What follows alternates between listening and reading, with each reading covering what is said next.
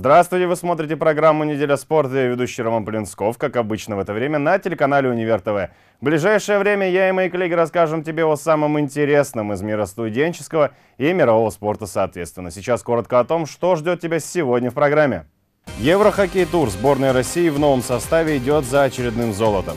Студенческая хоккейная лига КФУ против Академии спорта. Церемония награждения спартакиады Юлбарс онлайн – Гость студии Алексей Ливанов. Подводим итоги уходящего года. Начнем сегодня с европейских новостей. На этой неделе Москва принимала у себя второй этап Еврохоккей-тура. По традиции флагманы европейского хоккея, именно сборные Чехии, Швеции, Финляндии и России на данном турнире обкатывали свои составы перед чемпионатом мира 2021 года. Амир Сабиров наблюдал за ходом турнира и прямо сейчас готов вам рассказать, что да как там было. Сборные Чехии, Финляндии, Швеции и России продолжают готовиться к чемпионату мира 2021 года. Турнир открывал матч финнов против чехов. В упорной борьбе сильнее оказались хоккеисты финской сборной 4-3. А россияне стартовали на домашнем турнире схваткой со шведами. Счет в этом матче был открыт только во втором периоде. После нескольких рикошетов шайба все-таки долетает до наших ворот 1-0. Понтус Оберг празднует гол. 10 минут спустя Андрей Кузьменко с передачи Ивана Морозова и Егора Яковлева сравнивает счет 1-1. На второй перерыв команды вновь уходят без явного фаворита на площадке. Заключительный заключительном отрезке матча скандинавы вышли вперед на седьмой минуте. Эмиль Петерсон показывает свой мощный кистевой бросок 2-1. Но уже через три минуты россияне с интервалом в минуту сравнивает счет и тут же выходит вперед. Сначала Никита Сошников сходу в касании реализует хорошую контратаку 2-2. А после уже форвард московского «Динамо» Вадим Шипачев реализует большинство и впервые в матче выводит вперед нашу сборную 3-2. Шведы побежали отыгрываться, и им это удалось. Защитник СКА Оскар Фантенберг сравнял счет на 16 минуте 3-3. Для определения победителя командам потребовалась серия булитов, в которой сильнее оказались наши ребята. Свои броски реализовали Никита Сошников и Эмиль Ларсон, а победный на счету Андрей Кузьменко 4-3. Сборная России выигрывает свой первый матч на турнире. Уже через день финны встречались со шведами. Североевропейское дерби, в котором уверенную победу одержала сборная трех корон 4-1. Ну а нашим ребятам противостояли неуступчивые чехи, которые жаждут заполучить свои первые очки на турнире. Но сборная России не собиралась уступать перед своими болельщиками. Уже на седьмой минуте Антон Бурдасов демонстрирует свой кистевой бросок и открывает счет 1-0. Тремя минутами минутами позднее Андрей Кузьменко закрепляет успех сборной 2-0. Но недолго радовались наши хоккеисты. Чешская сборная тут же напомнила о себе, и нападающий челябинского трактора Лукаш Седлок уменьшил отставание от сборной России 2-1. Второй период оказался безголевым, а третий стал фееричным для Максима Мамина. Нападающий ЦСКА оформил дубль. Сначала оказался расторопным на пятачке чехов и затолкал шайбу в ворота. А после, за три минуты до конца матча, забил уже в пустые ворота 4-1. Сборная России становится единоличным лидером в турнирной таблице. Последний день турнира открывал матч шведов против чехов, в котором последние заработали свои первые очки на турнире. Победа Чехии 4-1. Финны пока набрали только 3 очка, но у них есть отличная возможность их отобрать у хозяев и забраться на первое место. Первом периоде болельщики увидели только одну шайбу. Вадим Шипачев отличился и вывел вперед нашу сборную 1-0. А уже во втором периоде Дмитрий Воронков увеличил преимущество 2-0. Пять минут спустя тот же нападающий Акбарса с передач Павла Карнаухова и Сергея Толчинского оформляет дубль 3-0. А в конце второго эпизода игры Харри Песанин дарит своей команде надежду на камбэк 3-1. В конце третьего периода финны поменяли вратаря на шестого полевого, и Павел Карнаухов забил в пустые ворота 4-1. Ну а конечную точку ставит Андрей Кузьменко, который забросил свою шайбу за 13 секунд до конца матча. 5-1. Сборная России выигрывает все свои три матча и становится безоговорочным победителем второго этапа Евротура. Амир Сабиров, неделя спорта. Если сборная России по хоккею принимает участие только в одном турнире, а именно Еврохоккей-тур, то сборная Казанского федерального университета по хоккею принимает участие уже в четвертом для себя турнире. На этот раз студенческая хоккейная лига. Первый тур и сразу же грозный соперник – сборная Академии спорта. За борьбой двух грандов наблюдал наш корреспондент Евгений Алмазов, и сейчас он расскажет о ходе данного матча. В первом туре студенческой хоккейной лиги казанские юлбарсы встречались со сборной Поволжской академии физической культуры, спорта и туризма. Матч проводился на домашней арене Академии в спортивном комплексе «Зеланд». В самом начале матча на первой минуте капитан Юлбарсов Марат Хафисов удалился. И Академия быстро реализует большинство – 1-0. Минуты позднее Академия увеличивает свое преимущество. Вратарь гостей Артур Мухамедянов был бессилен – 2-0. Казалось бы, КФУшники отошли от мощной пощечине в начале матча, но хозяева не собирались останавливаться и за пять минут до конца стартового отрезка забили еще две шайбы и довели счет до разгромного – 4-0. Черная полоса для юлбарсов не закончилась, и во втором периоде сначала на первой минуте Никита Иванов забрасывает шайбу в ворота 5-0, а 4 минуты спустя уже Ильдар Манатпов 6-0. Уже в первой контратаке Эдуард Мусин забрасывает шайбу престижа для казанских юлбарсов 6-1. Но радость гостей не была долгой. Уже через минуту Академия возвращает преимущество в 6 шайб. 7-1. Юлбарсы старались, стали больше атаковать, и это принесло свои плоды. Марат Хафизов забивает второй гол гостей. 7-2. Третий период, на удивление многих, стал мало результативным. Одна шайба побывала в воротах казанских юлбарсов. 8-2. Конечный итог матча. Студенты КФУ терпят разгромное поражение в своем первом матче в чемпионате. Евгений Алмазов, Амир Сабиров, Неделя спорта. От матчей переходим к подведению итогов года. Награждением офлайн завершилась спартакиада Юлбарс онлайн. 17 декабря представители всех учебных подразделений Казанского федерального университета собрались в малом зале Уникса, дабы чествовать победителей и призеров данной спартакиады. Вместе с ними в малом зале оказалась и наш корреспондент Наталья Жирнова, и сейчас она подробно тебе расскажет, кто стал сильнее в этой онлайн-спартакиаде. Почти каждое спортивное событие заканчивается объявлением своих победителей. Вот и в этот раз на сцене малого зала Уникса можно было увидеть людей с медалями и кубками. Повод – награждение по итогам онлайн-спартакиады среди первокурсников Юлбарс Онлайн. Пандемия коснулась всех сфер деятельности университета. Мимо спорта это также не прошло. Многие мероприятия были переведены в онлайн-формат, в том числе и спартакиада Юлбарс Онлайн. Данный формат мероприятия – уникальное событие в мире студенческого спорта.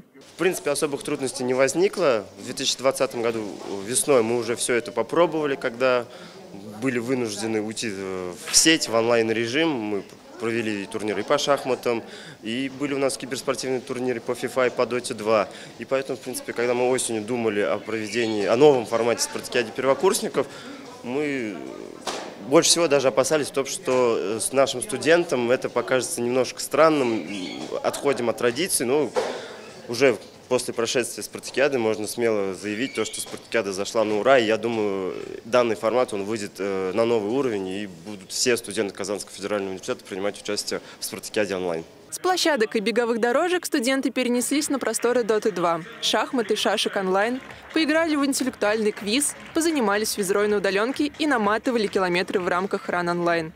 Первые награды были вручены участникам соревнований по шахматам и шашкам, в которых приняли участие более 200 студентов. Лучшими шахматистами в общекомандном зачете стали первокурсники из Высшей школы информационных технологий и интеллектуальных систем, оставив позади Набережно-Челнинский институт.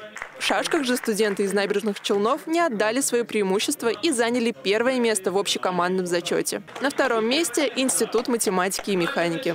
К слову, это единственное серебро для данного института. В остальных видах спорта студенты мехмата стали чемпионами. В необычной для спартакиады компетенции квиз-викторина они становятся безоговорочными лидерами и забирают кубок. Самым обширным видом соревнований Юлбарс Онлайн стала физра на удаленке. Участники спартакиады состязались в таких упражнениях, как отжимания, приседания, бег и планка. Лучшими вновь стали студенты из Института математики и механики, забрав свою копилку очередной кубок и многочисленные медали. Спартакиада не обошлась и без киберспортивного турнира. Мехмат показал, что силен не только в физической подготовке, но и в командных играх. Своими киберспортивными навыками ребята из Мехмата вывели свою команду на первое место, даже в таком нестандартном соревновании. Таким образом, Институт математики и механики в одну калитку обыграл своих конкурентов и стал абсолютным чемпионом в рамках спартакиады Юлбарс Онлайн. Во-первых, мы, мы очень сплоченные. Э, во всех абсолютно видах, где мы участвовали, мы старались друг другу помогать при подготовке и при участии поддерживали друг друга. И, конечно, наш, наш спорторг Юр, Юркин Сергей, он тоже сыграл немаловажную роль. Он всегда нас мотивировал, поддерживал. Вот, наверное, два фактора. Наталья Журнова, «Неделя спорта». А мы продолжаем нашу программу и тему награждений, тему подведения итогов года. Сейчас у меня в студии появляется начальник отдела физкультурно-массовой спортивной работы Казанского федерального университета Алексей Николаевич Ливанов. Алексей Николаевич, рад вас видеть у нас в гостях. Спасибо, Роман, за приглашение. Ну что, подведем итоги уходящего 2020 года. В целом для спортклуба, для Казанского федерального университета, да и вообще в спорте в республике, по вашему мнению, как он выдался? А, любой год, э, если рассмотреть, есть положительные, есть э, отрицательные моменты, но э, всегда нужно смотреть плюсы. Если смотреть в этом году, у нас есть довольно значимые достижения. Э, есть те позиции, где мы э, сохранили э, с, свое положение или э, немножко шагнули вперед. Ну, э, если смотрим на, результаты, то э, стоит отметить, что в этом году э, в связи с пандемией э, наш университет, ну и в принципе э, весь мир, э, спортивный мир столкнулся с э, новыми вызовами. Э, мы э, с этим, э, я считаю, справились. А, есть э, направления, которые мы перешли в онлайн-формат, провели новые проекты в этом году. А, пока это для студентов первого курса. А, очень радует, что цифра довольно-таки серьезная у нас, участников более 700 э, студентов первого курса приняли участие. Из э, офлайн спортивных мероприятий, думаю, стоит отметить, что, как и в прошлом году и позапрошлом, Наши студенческие команды студенческого спортивного клуба «Казанские улбарсы» очень активно и э, качественно провели отборочный этап, э, тем самым получили заслуженные путевки на суперфинал, который прошел в этом году в Казани. Э, достойно э, выступили. Стоит отметить, что настольный теннис в этом году у нас поднялся вверх, заняли достойное второе место. Волейболистские женская команда заняла второе место. А, шахматисты нас порадовали и э, футболисты э, первым местом э, чемпионами. Надеемся, что в дальнейшем у нас будут такие же места, подтянутся другие виды спорта. Надеемся на лучшее. Из других видов спорта, наверное, э, и для меня, как руководителя команд, и для нашего университета очень отрадно, что сильное продвижение у нас э, было в сборных командах э, по спортивному ориентированию. Команда впервые выиграла спартакиаду вузов Республики Татарстан, получила право принять участие на финале Всероссийской универсиады. Это впервые для нас, это очень большое достижение. Надеемся, дальше ребята будут двигаться и расти. Из тех побед, из тех достижений, которые у нас были в 2020 году, их было достаточно много, ибо вот сейчас просто перечисляешь и думаешь, вау, как же все-таки много у нас было в 2020 году. Какое более хочется выделить? То, что в чемпионате ССК Казанский федеральный университет стал э, первым, то, что в Кубке ПФО по хоккею Юлбарсы стали вторыми, или, может, на региональном уровне, то, что гонболисты наши вторые, студенческая футбольная лига тоже серебро взяли. Или, или же какое-то другое? Вот прям вот хочется выйти. Ну, Понятное а... дело, это сложно сделать, но может все-таки найдется такое мероприятие. Любое достижение нашего университета, где мы шагнули вперед, я считаю, это а, из гла... а, одно из главных событий. Да, добавлю, что у нас и а, футболисты, как на суперфинале ССК добились победы. А, стоит отметить, что они впервые в истории а, в студенческой футбольной лиге завоевали серебряные медали. До этого мы поднимались только до третьего места. В этом году мы впервые поднялись выше. А, из а, хоккейных достижений я еще раз отмечу это, это серебряные медали. А, Все-таки значимый турнир, э, который котируется э, не только в республике, в ПФО, но и э, стоит в российском календаре. Это серебряные медали. Ну и Всероссийская летняя универсиада – который проходит не каждый год, но а, туда нужно отобраться, а, там нужно показать высокие результаты для того, чтобы в дальнейшем а, завоевать медали. Ну что ж, Алексей Николаевич, большое спасибо за такой подробный рассказ достижений Казанского федерального университета в этом году. Огромное спасибо за приглашение. Напоминаю, друзья, у нас в гостях сегодня был Алексей Николаевич Ливанов, начальник отдела физкультурно-массовой и спортивной работы Казанского федерального университета. Ну что ж, с наступающим Новым годом. Увидимся уже в 21-м.